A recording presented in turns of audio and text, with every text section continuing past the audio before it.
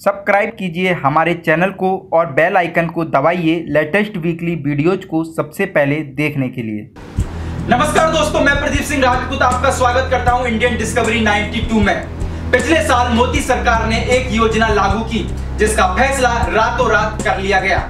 और इस योजना के बारे में कहा गया था कि इस योजना से आम आदमी को काफ़ी फ़ायदा होगा। लेकिन जब सच्चाई सामने आई तो योजना पर ही सवाल उठ गए। आइए जानते हैं कि आखिर यह योजना क्या थी।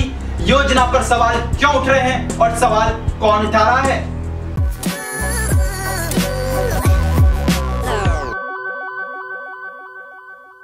पिछले साल 8 नवंबर को जब प्रधानमंत्री ने यह ऐलान किया कि आज रात 12 बजे के बाद 500 और 1000 के नोट लीगल टेंडर नहीं रहेंगे। 8 नवंबर 2016 की रात्रि को 12 बजे से वर्तमान में जारी पाँच सौ रुपये और एक हज़ार रुपये के करेंसी नोट लीगल टेंडर नहीं रहेंगे। तथा नोटबंदी को सफल बनाने के लिए जनता से 50 दिन का वक्त मांगा था, तब जनता ने मोदी जी का भरपूर साथ दिया था। पर आरबीआई की रिपोर्ट के बाद जहाँ नोटबंदी को लेकर मीडिया, इकोनॉमिस्ट तथा विपक्षी पार्टियाँ मोदी सरकार को घेर रही है और मोदी जी से सफ़ाई मांग रही है। वही जनता नोटबंदी पर अपने आप को ठगा हुआ महसूस कर रही है और मोदी जी से कुछ तीखे सवाल कर रही है।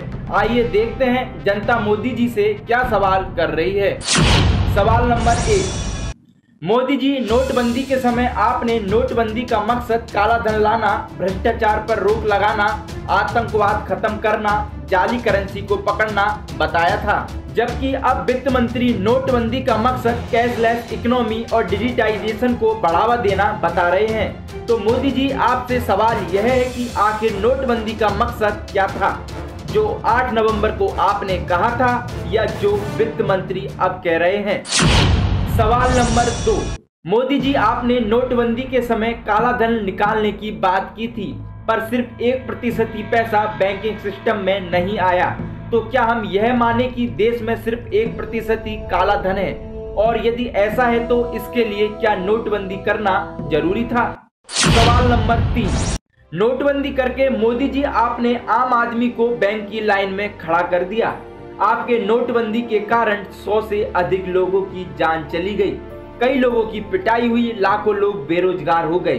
तो मोदी जी, आपसे सवाल यह है कि क्या नोटबंदी के दौरान और उसके कारण आम आदमी को जो परेशानी हुई, उसकी ज़िम्मेदारी आप लेंगे?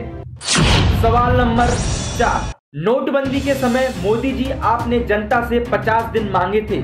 और यह वादा किया था कि यदि 50 दिन के भीतर सब कुछ सही ना हो जाए तो आप मुझे जिस चौराहे पर बुलाएँगे, मैं आऊँगा। अगर 30 दिसंबर के बाद कोई मेरी कमी रह जाए, कोई मेरी गलती निकल जाए, कोई मेरा गलत इरादा निकल जाए, आप जिस चौराहे में मुझे खड़ा करेंगे, मैं खड़ा होकर के देश जो सजा करेगा, वो सजा भुगतने के लिए तैयार है।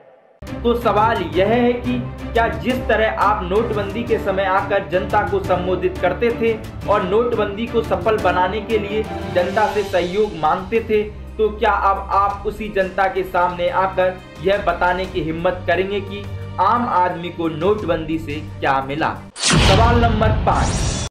मोदी जी, क्या आप जनता को यह बताएँगे कि यदि नोटबंदी को लेकर आपकी कोई तैयारी या रणनीति नहीं थी तो आपकी ऐसी क्या मजबूरी रही थी कि आपने अचानक रातों रात नोटबंदी को लागू कर दिया? जनता यह जानना चाहती है। अब देखना यह है कि मोदी जी जो अपने आप को जनता का सेवक कहते हैं, वे जनता के इन सवालों का जवाब कब तक देते हैं? देते भी हैं या चुप्पी ही साधे रहेंगे? अगर आपको यह वीडियो पसंद आया हो और आप चाहते हैं कि आपको इन सवालों का जवाब मिले तो आप इस वीडियो को ज़्यादा से ज़्यादा शेयर करें।